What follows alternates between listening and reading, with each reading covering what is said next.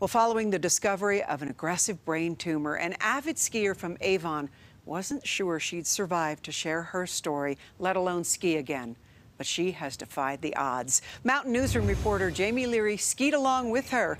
And Jamie, she has one incredible story.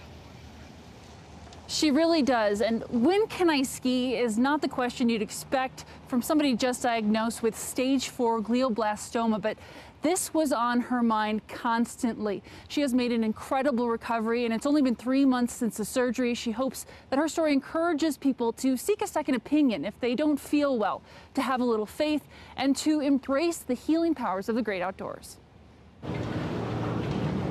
To be going back in time uh, at 45 is very difficult, but you know what? It's okay. Misty Gans is learning how to read again. Her memory and speech are slowly coming back too. But skiing, she never lost that.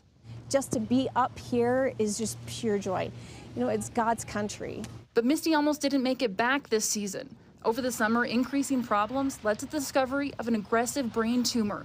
She lost the ability to read, she fell at work, then a seizure while driving. She was told it was all stress related.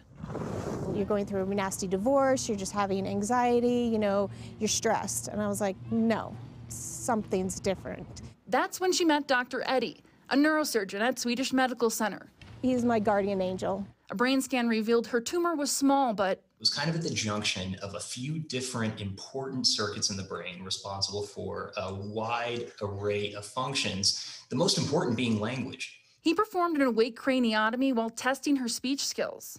As I was resecting the tumor, relieving the pressure on her speech area, her speech got better.